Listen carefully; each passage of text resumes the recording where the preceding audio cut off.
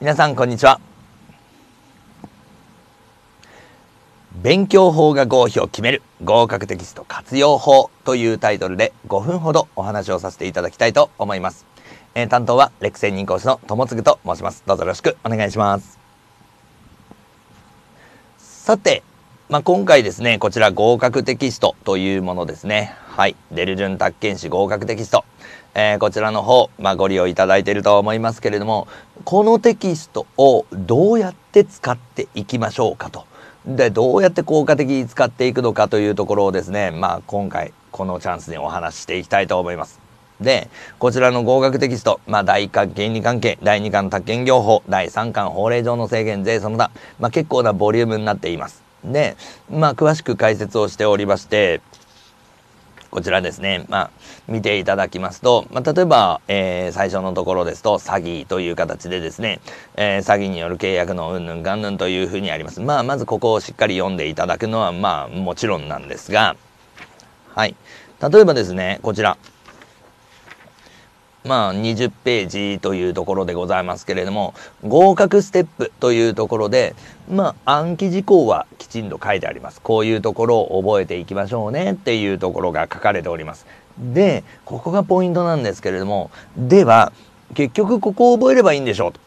ね、結局ここを覚えればいいんでしょうっていう形で、ここしか見ないって方がいるんですけども、それはちょっとやめていただきたいと。え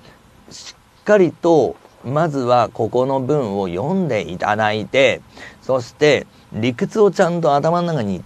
しっかり入れておいてほしいんですね。で、理屈をしっかり頭の中に入れておいて、そして、あ、なるほどね、ここまでこういう形になってくんだ、分かったぞ、というところで、では、結局何を覚えておけばいいんだろうかって言った時にここを使ってほしいんです。なので、最初からその文章を読まずに、えー、大事なところここにまとまってんでしょこれ覚えればいいんでしょって言っても、何が何だか分かんなくなる可能性があるんですよね。詐欺による意思表示は取り消すことができる。第三者が詐欺を行った場合、相手方がその事実を知っていた時に限り、その意思表示を取り消すことができる。この言葉だけをひたすら覚えても、何の役にも立ちません。だってちょっと応用されたらすぐに解けなくなってしまいますからね。で今の宅建試験そんなに素直に出てくるわけではないです、えー、ですのでちゃんと考え方を理解してる人間が解けるっていう形の問題が中心になってきますのでその考え方をちゃんとインストールしておかなければいけない。ただ考え方だけインストールしたからっつってじゃあ解けるのかって言ったらそうでもない。最低限覚えておかなければいけないところはある。それがやっぱり合格ステップという形でまとまってるわけですね。そしてもう一つ大事なことがあります。覚えるってどうやってやるんでしょうって話なんです。で、やっぱりね、あの、ここら辺にチェックペンとか入れてガーっていうところもまあね、覚えるとしてはいいんでしょうけれども、それよりももっと効率よく、もっと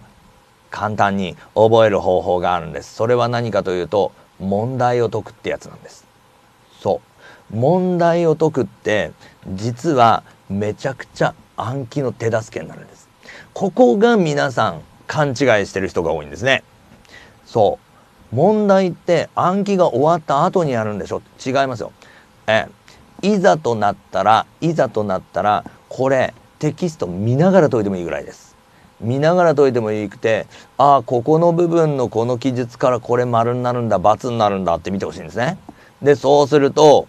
ああそれで×になるんだっていう理由付けができますそうするとあこれを覚えてればこの問題解けるんだっていうふうになりますよね。そうしたらそこを覚えとけばってことになるわけですよ。あとはこの問題何度も解いていけばあまあ前にもあったな前にもあったな自然とその内容が頭の中に入ってきたりする場合もあります。なので問題を解きながら覚えるこれはですね是非行ってもらいたいんです。なのでここの宅建試験に出る問題って言って、まあ、一問一答の形で数問載っております。ね。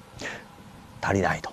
ね。それじゃ問題足りないよっていう方のためにそう。ウォークモンの参照の問題もあります。例えば問い1括弧2ってがあります。これ何かと言いますとウォークモンのですね。例えば問いの1番の選択肢の2番。これがここの内容とほぼ同じ内容ですからこの問題も解いてみてくださいっていうふうにそう。問題が追加できるわけですね。ウォークモンとリンクも貼られてるわけですですのでここで問題数をどんどんどんどんこなしていっていただくっていうのも一つの手になってくるわけです。ですのでこれウォークモン合格テキストね、しっかりリンクさせて、そ